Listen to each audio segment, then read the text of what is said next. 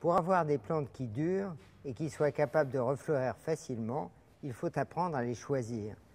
Pour ça, il y a des, repères très simples.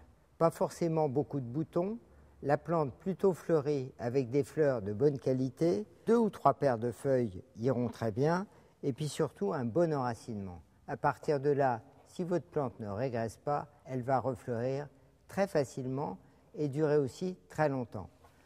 Pour les plantes à pseudobulbes, il faut faire attention à ce que les pseudobulbes soient bien renflés et que la plante soit aussi bien ancrée dans son pot. De cette manière, elle a toutes les possibilités de refaire une nouvelle pousse et de refleurir assez rapidement à son tour.